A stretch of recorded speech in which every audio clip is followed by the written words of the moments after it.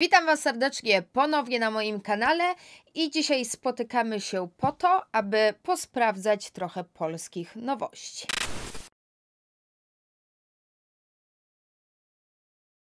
I jak widać, twarz już mam e, przygotowaną. Mam nawet nieprzypudrowane kremowe konturowanie. I dzisiaj bym chciała posprawdzać m.in. nowości z My Secret, nałożyć na żywo i pokazać Wam najnowsze pudry do konturowania oraz rozświetlacze z PZ. Przetestujemy sobie neutralną paletę, a wszystko to dookoła będzie opracowywane polskimi pędzlami. I jak widać, twarz już mam przygotowaną, więc żeby to pozostało wszystko wszystko w takim polskim klimacie. To oczywiście na twarzy mam ostatnio y, ukochane podkłady z Golden Rose, a brwi to jest PZ Brow Story wosk do brwi i całość uzupełniona jest e, kredkami Micro Precise Brow Pencil z Eveline Cosmetics. A i jeszcze korektor pod oczami to jest również Eveline i mam na kremowo wykonturowany nos i to jest chyba jedyny produkt, który dzisiaj nie jest polski, czyli to są właśnie też przeze mnie ostatnio polecane styki do konturowania z Kiko Milano. I teraz właśnie wypadałoby sobie e, przypudrować, przybakingować nos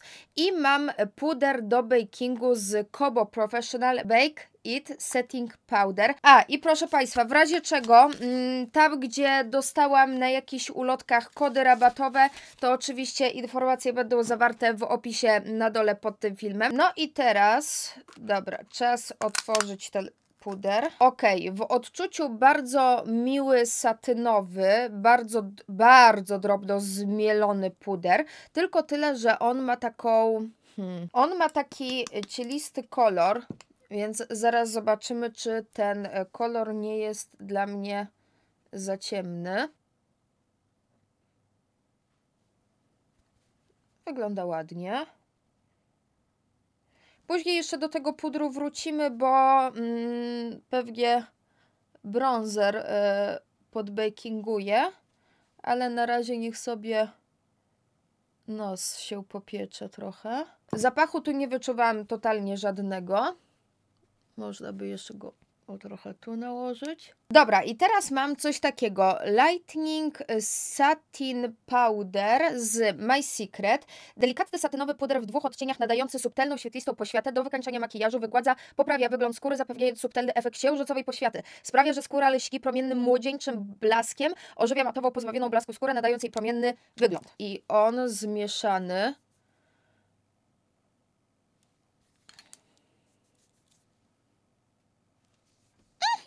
Dobra, jeżeli to jest puder satynowy, to jedziemy po całej twarzy. Tak, i zaczyna być widoczny taki pierwszy delikatny błysk, ale nie będę tego nakładać też za dużo. Ok, na brodzie widać, mm, bo zaraz jeszcze będą bronzery i rozświetlacze, ale do... O! Au! I oczywiście mieszam oba te odcienie. Zaraz, wiecie co? Wypadałoby Was przybliżyć, a ja tak szybko zaczęłam gadać, zaczęłam nakładać te produkty i się zapędziłam. Dobra, e, e, okej, okej, okej. E, jest pięknie. Na razie z tym pudrem e, przystopujmy, najwyżej później będę jeszcze nim e, rozcierać jakieś granice, bo teraz zajmiemy się nowościami od PZ i to są nowości, o których pisałam Wam już na moim Instagramie, bo PZ się odezwało do mnie ze trzy tygodnie temu i dostałam od nich próbki produktów, które teraz już się finalnie pojawiły. I marka poprosiła mnie o opinię na temat tych produktów, więc najpierw dostałam e, produkty w tych opakowaniach testowych, a teraz mam już e, produkty, które możecie normalnie kupić i zajmiemy się bronzerami. I teraz tak, mamy dwie wersje kolorystyczne, wersję light oraz medium, oczywiście w tym momencie wjeżdżają dla Was słocze, ja bym Wam pokazać, co prawda subtelną, ale jednak różnicę pomiędzy tymi zestawami to na tą stronę naniosę mm, wersję kolorystyczną light, a tutaj naniesiemy medium. I przy okazji wezmę się za pędzel KM01 to są pędzle, które powstały przy współpracy afektu z Karoliną Matraszek i to jest pędzel e, powder brush, czyli do pudru, ale mm, on jest takiej wielkości, że mm, ja uwielbiam właśnie takie pędzle do bronzerów. I najpierw nałożę ten ciemniejszy odcień.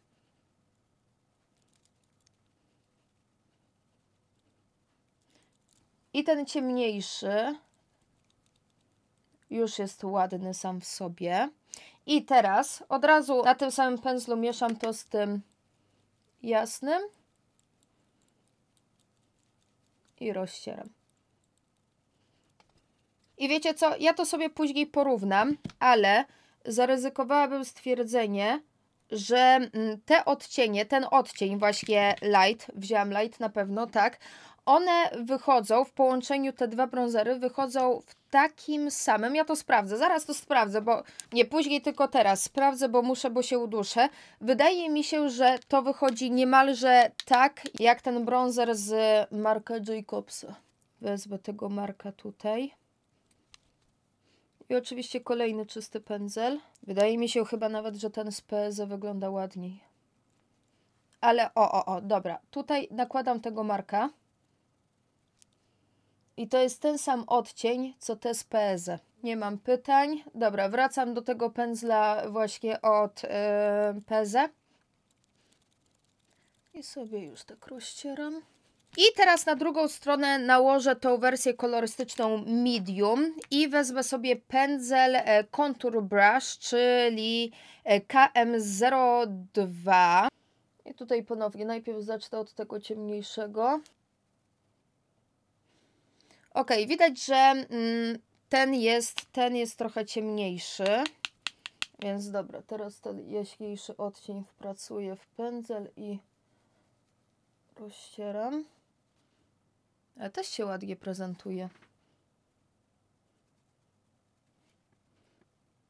I nie wiem, czy to widać w kamerze, bo tak jak mówię, ja te pudry już znam i wiem, że ta wersja medium jest bardzo podobna, ale wychodzi e, jednak ciut ciemniejsza niż ta wersja light, ale tutaj tak naprawdę nie widać jakiejś większej różnicy pomiędzy jednym a drugim policzkiem. I tą jaśniejszą połówką oczywiście rozcieram dalej żuchwa i tutaj e, w opakowaniu mamy normalne, niezniekształcające lusterko.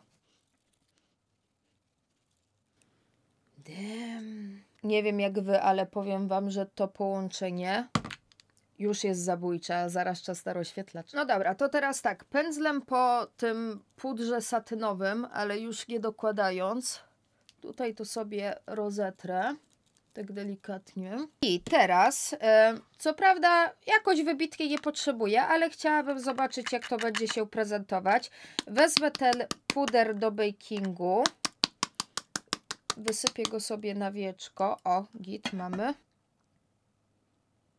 I niech to się trochę podrzeźbi. W międzyczasie jak będziemy nakładać rozświetlacz.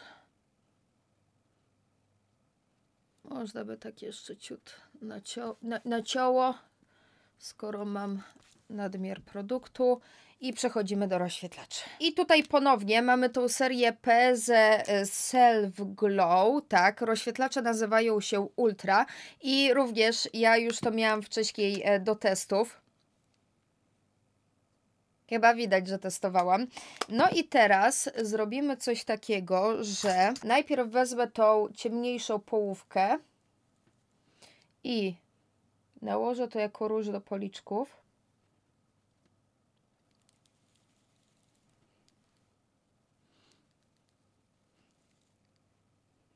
I dzisiaj będę wyjątkowo opanowana, no bo ja te oświetlacze już znam, tak? No i teraz e, tą jaśniejszą stronę.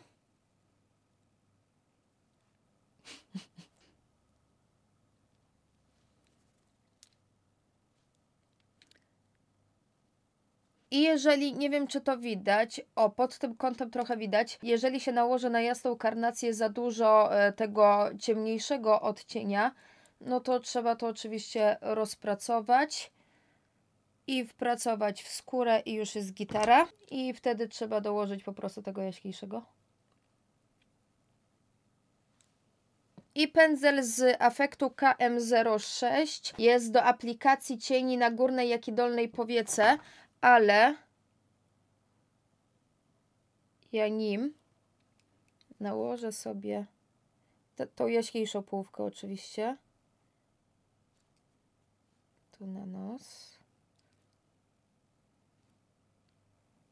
A jeżeli róż by był dla Was za ciemny, to można to zawsze zmieszać. No glow mnie, glow mnie poniósł.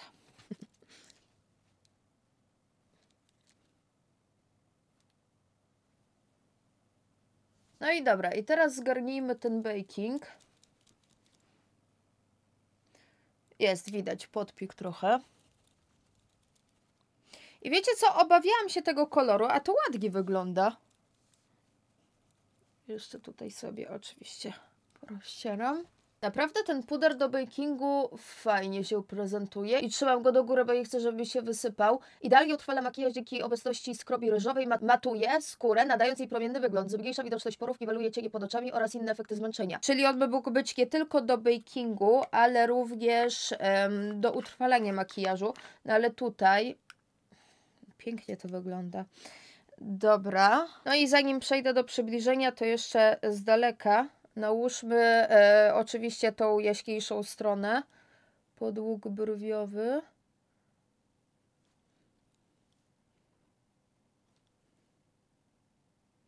I te rozświetlacze dają taki efekt e, typowo tafli. Tutaj nie ma drobinek, tylko jest tafla.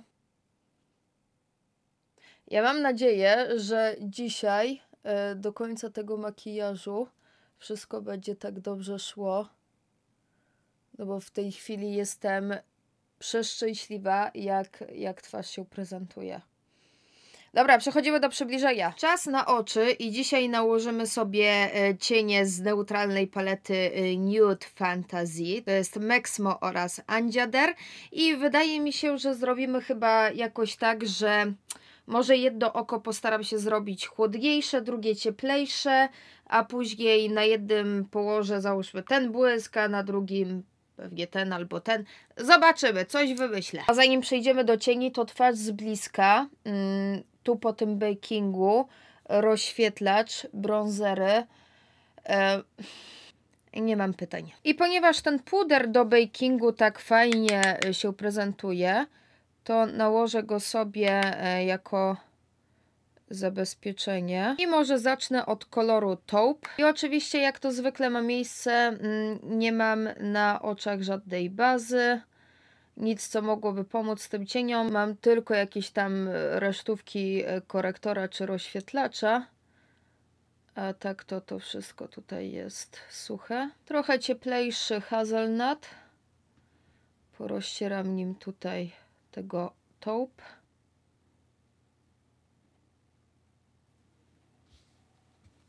A teraz zmieszam te dwa odcienie. I na razie tu się wszystko ładnie buduje. Teraz wezmę cień Basic i rozjaśnię sobie tutaj, poczyszczę te krawędzie. I ta paleta akurat nie jest nowością, ale nie miałam wcześniej czasu się do niej przysiąść, więc lepiej późno niż wcale. Teraz będzie pędzelek KM05 od Karoliny Matraszek i może wezmę, dobra, pojedźmy z grubej rury, wezmę czarny. Uuu! E, zobaczymy zaraz, ale otrzepałam ten pędzel i nawet nie mam z czarnego osypki. Ok, wracam do koloru taupe.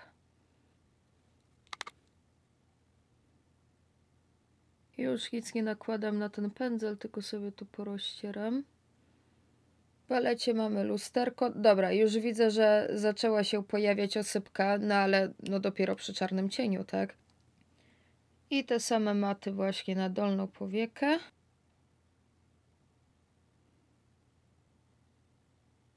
Osypkę dopiero mam przy czarnym cieniu, więc naprawdę jest, jest nieźle. No i widzę, że ten puder ładnie tutaj to ochronił, jest ok. I chyba do tego oka będzie najbardziej pasował ten cień, więc paluchem na sucho.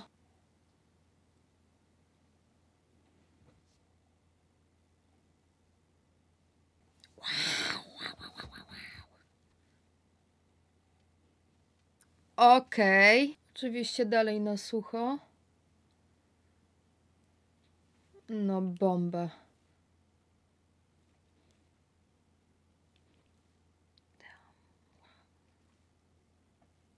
Czas na drugie oko i może zacznę od safari.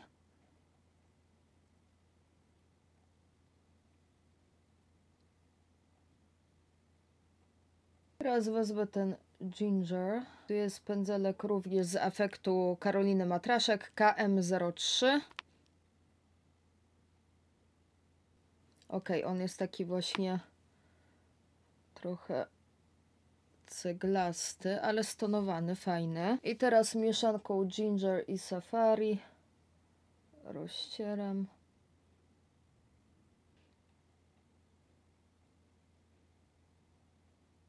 No i tutaj jak widać wszystko się ze sobą ładnie łączy, można dołożyć, rozblendować, nie robią się żadne dziury, wszystko gitara. Znowu tym cieniem basic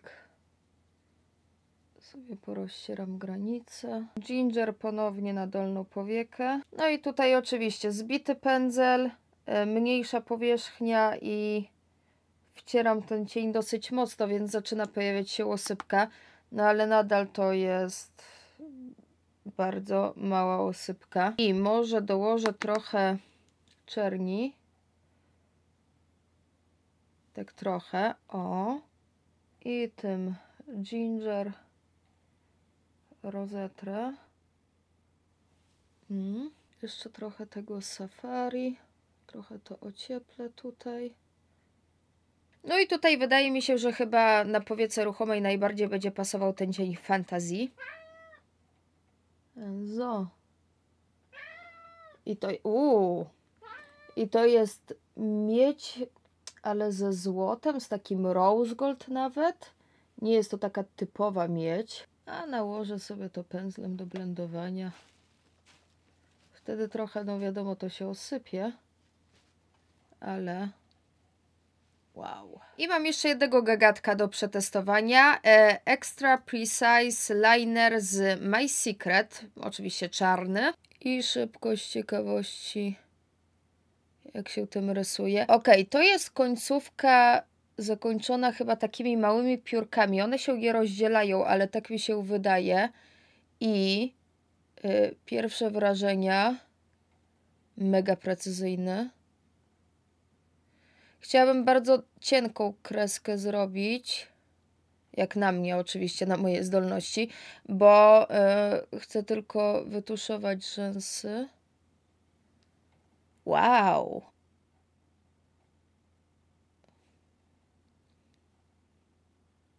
Ok, jeżeli uda mi się jeszcze dzisiaj wytuszować rzęsy bez ubrudzenia sobie oczu, e, to naprawdę to jest chyba mój dzień. I w środku w tym linerze mamy e, mieszadełko. Ok, niesamowicie precyzyjnie się tym rysuje, tylko tu oczywiście zrobiłam sobie kreskę wyżej, więc teraz takim pędzelkiem staram się to trochę e, poprawić, ale to też od razu zastygło na matowo czarno. Bardzo, bardzo mi się to podoba. Okej, okay, dobra, tuszuję rzęsy i zaraz do Was wracam. Dobra, proszę Państwa, pozostajemy w polskim klimacie, czyli na ustach jest konturówka z Pirene Lipmatic 07 oraz e, pomadka z Eveline Cosmetics Och My Liquid Matte Lipstick i to jest 01 Neutral Nude. I jeszcze poza kadrem tutaj e, na dekolt, na ramiona naniosłam ten e, rozświetlacz z PZ i może najpierw podsumujmy właśnie te produkty z PZ. Jak już Wam wspominałam na moim Instagramie, robiłam posta, ja te produkty już zdałam, więc to nie jest moje pierwsze wrażenie na ich temat i no rozświetlacze sądzę, że, że mówią same za siebie, nie muszę ich tutaj reklamować, są boskie. Co do tych produktów do konturowania, tak jak Wam mówiłam na początku, nie widać zbytkiej różnicy pomiędzy jedną a drugą stroną, ale jak już poszłam w inne światło, sprawdziłam, no to faktycznie ta strona medium jest ciut ciemniejsza, ale nadal jak widać nawet dosyć jasna, nieopalona karnacja może z tym odcieniem, czyli z tą ciemniejszą wersją poradzić i współpracować. Jeżeli już jesteście trochę opaleni, to z pewnością wybrałabym odcień medium. Z kolei mm, na jasnej karnacji, nieopalonej, przepięknie prezentuje się ten odcień light i tak jak Wam pokazywałam, ten odcień light, zmieszane te dwa kolory razem ze sobą, one wyglądają dokładnie tak samo jak ten już trochę droższy bronzer z Marka Jacobsa, więc cena tutaj wygrywa wszystko. W opakowaniu mamy 6 gramów produktu i to co mi się w nich podoba, sądzę, że e, to było widać na słoczach. Te pudry są takie delikatnie satynowe, więc one przy okazji bardzo ładnie odbijają światło, nie są totalnie matowe na skórze, tylko od razu to wygląda właśnie jak przybrązowiona, opalona i rozświetlona skóra.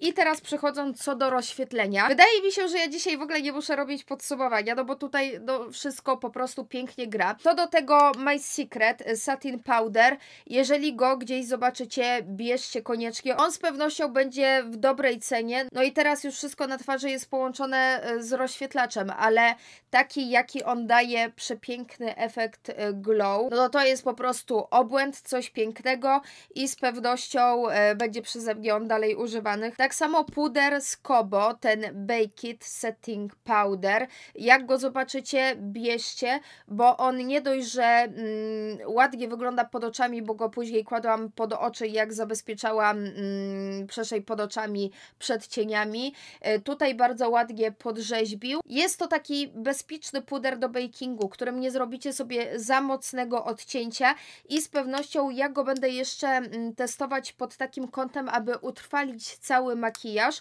no bo tutaj producent zapewnia, że on zmniejsza widoczność porów, niweluje cienie pod oczami oraz inne efekty zmęczenia i przy okazji może być to puder do bakingu, więc sztosik. I jeszcze to, co zadziało się na oczach. Liner, e, tak jak Wam powiedziałam, przepięknie zastyk na matowo. Mm, tutaj na ręce, no nie widać tego, tutaj jest jeszcze kreska. Robiłam sobie wcześniej słocza i chciałam to zmyć, więc trochę musiałam tutaj poszorować więc on wydaje się być naprawdę długotrwały. Mamy mieszadełko, więc nie powinien zastygać i jest niezwykle precyzyjny. Zobaczcie, jakie cieniutkie kreski można nim zrobić. I tym bardziej to jest My Secret, więc on pewnie nie będzie kosztował więcej niż e, dychę, więc również jak go zobaczycie albo online, albo w drogerii, brać bez zastanowienia. I co do tej palety Mexmo oraz Andzia Der, e, która się nazywa e, Nude Fantasy, no to sądzę, że makijaż oczu mówi sam za siebie. Jest cudowna, praca z tymi cieniami była naprawdę świetna, wszystko ze sobą się łączy, delikatnie się osypują, ale zdecydowanie więcej osypki miałam w palecie niż e, pod oczami. Oczywiście przypominam o tym, że nie używam żadnych lepiących produktów na powieki, więc sądzę, że z bazą bądź właśnie z jakimś glitter primerem, to sądzę, że te cienie wtedy się w ogóle nie osypują i pewnie jeszcze lepiej mogą wyglądać na powiece. Jestem bardzo, bardzo zadowolona z tego makijażu i powiem Wam, że moje serce bardziej bije w kierunku obecnie chłodniejszych tonacji, ale tutaj to takie lekko miedziane oko wyszło neutralnie, ciepło, ale neutralnie. Ono nie jest za ciepłe i ten makijaż naprawdę bardzo mi się podoba. A ja jednak od dłuższego czasu już idę w neutralno-chłodne tonacje, więc bałam się, że to drugie oko wyjdzie stanowczo za ciepło, a jest, jest idealne, więc jeżeli nad nią myśleliście, to macie moje błogosławieństwo, bierzcie ją. No i jeszcze w trakcie testowałam pędzle z afektu przy współpracy z Karoliną Matraszek. Te pędzle, z tego co się orientuję, je można kupić zarówno pojedynczo, jak i cały zestaw. I cały zestaw przypuszczam, że pewnie albo będzie mieć lepszą cenę, albo pewnie jest dodawany ten e, pojemnik na pędzle, ale jeżeli byście myśleli nad jakimś konkretnym modelem, to zdecydowanie ja bym szła w te dwa modele mm, do twarzy, czyli te, którymi nakładałam bronzery, czyli KM01 i KM02. Najbardziej moje serce bije w kierunku właśnie KM01, bo to jest e, taki rodzaj e, pędzla, którym właśnie ja zawsze e, się konturuję, nakładam bronzer i to jest idealny kształt, aby bronzer nałożyć i od razu rozetrzeć. Tym również bardzo przyjemnie się konturowało, on jest mniej więcej podobnej Podobnej wielkości, ciut mniejszy, ale jest zbliżony. On jest ścięty, można nim sobie jeszcze nałożyć róż do policzków, więc te dwa pędzle do twarzy y, są zarąbiste, na pewno będą dalej przeze mnie używane. Do oczu użyłam tylko dwóch KM03, KM05, czyli y, to były pędzelki, których używałam y, w wewnętrznym kąciku oraz na dolną powiekę. Też się nimi bardzo przyjemnie pracowało, więc z tego miejsca Karolina gratuluje swoich kolejnych makijażowych rzeczy. Tym razem narzędzi, bardzo udane, bardzo przyjemnie się z nimi pracowało. Gratulacje. Proszę Państwa, jak to zwykle mam miejsce, czekam na Wasze komentarze. Dajcie mi znać, co uważacie na temat testowanych przeze mnie dzisiaj produktów. Jestem bardzo ciekawa Waszej opinii na temat e, tej palety, bo to nie jest akurat nowość. Reszta była nowościami, więc jestem ciekawa, co Wam najbardziej z tych nowości przypadło do gustu. Dajcie znać, jak Wam się podoba ten makijaż. Ja jestem dzisiaj bardzo szczęśliwa, nie mam na co narzekać jak widać. Uśmiech od ucha do ucha, tak powinno być w każdym filmie. No i oczywiście na sam koniec ogłoszenia parafialne. Jak zwykle przypominam o tym, że warto być ze mną na bieżąco na moim Instagramie oraz Instastory. Wszystkie informacje na temat tego, co pojawiło się w filmie, czy jakieś kody rabatowe itp. oczywiście będą zawarte w opisie na dole pod tym filmem. Jeżeli materiał przypadł Wam do gustu, to proszę o kciuka do góry i jak zwykle przypominam o tym, że warto jest subskrybować kanał, a jeżeli wciśniecie ten czerwony przycisk, to warto też wcisnąć dzwoneczek, aby dostawać powiadomienia, kiedy Kitulec wrzuci nowy film na kanał. Dzisiaj to by było na tyle i mam nadzieję, że już niebawem widzimy się w naszym kolejnym filmie. Więc do następnego i na razie.